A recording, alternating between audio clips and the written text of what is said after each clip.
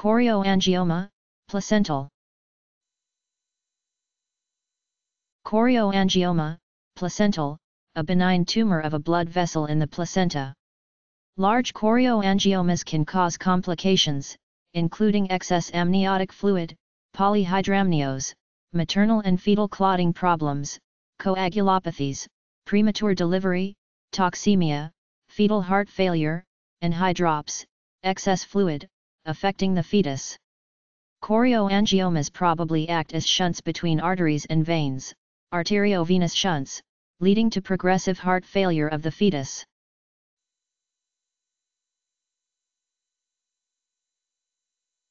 C H O R I O A N G I O M A P L A C E N T A L.